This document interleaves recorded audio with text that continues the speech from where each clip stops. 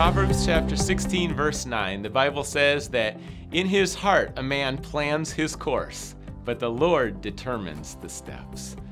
We all like to make plans and have plans that we think look really good on paper, and then life happens. And there's mid course adjustments, there's things we didn't expect. And so, as that happens, just be confident and know that the Lord's purpose is going to prevail. It's admirable, it's noble to have good intentions and good plans and to step forward in that direction. But ultimately, it's the Lord that's going to determine your steps. So rest in that, embrace that, uh, find a comfort in that. That not everything is resting on you, not all the pressure is on you, and the results are in His hands. But keep listening to Him. Don't panic or freak out or get discouraged when there's a change in the plans, for His mid course redirections are so often a great blessing.